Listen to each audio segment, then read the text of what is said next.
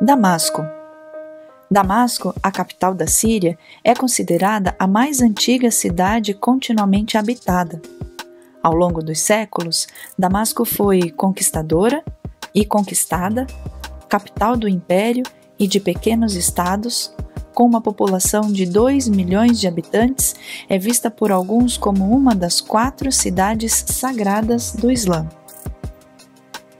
Damasco que já foi chamada de Pérola do Oriente, devido à sua beleza e exuberância, tem sofrido nos últimos dez anos com uma guerra civil que devastou a Síria.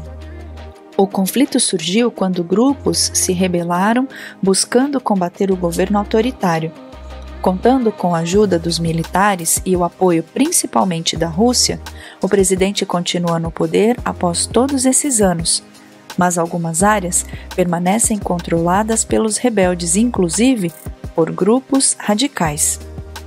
A economia foi abalada, a moeda local não tem muito valor e, segundo a ONU, 90% da população está vivendo na pobreza. Um grande número de pessoas deixou o país para fugir da guerra. A maioria dos habitantes de Damasco, cerca de 75%, é de muçulmanos sunitas. Acredita-se que existem mais de duas mil mesquitas na cidade, mas há também bairros considerados cristãos, com algumas igrejas. O número de cristãos diminuiu devido à guerra, mas muitos muçulmanos passaram a seguir Jesus. No país, há cerca de 5,5% de cristãos, incluindo os católicos, ortodoxos, armênios e assírios. A Síria está em 15º lugar na lista de países que mais perseguem os seguidores de Jesus. Segundo uma organização que apoia cristãos perseguidos, as comunidades cristãs na Síria enfrentam vários desafios no atual contexto.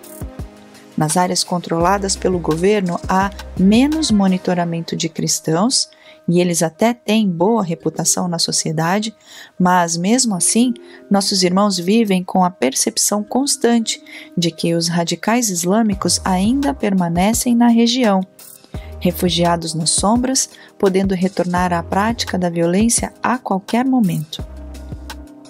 Em áreas onde os grupos extremistas são ativos, os líderes de igrejas históricas são visados Muitos templos passaram a ser usados como centros islâmicos ou foram completamente destruídos por jihadistas que controlam o território, pois eles consideram inadmissível qualquer expressão pública da fé cristã.